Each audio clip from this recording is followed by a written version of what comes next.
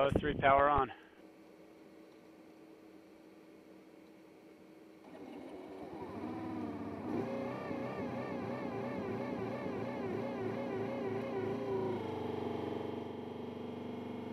LS3 follow tight.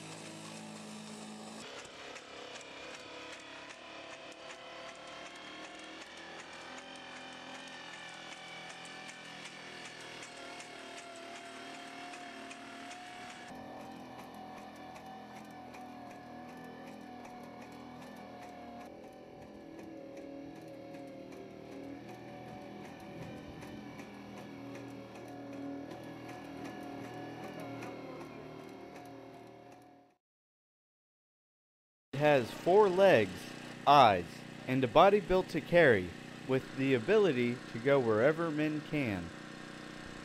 The legged squad support system is the new solution for overburdened troops who carry nearly 100 pounds of survival and protection gear in the field.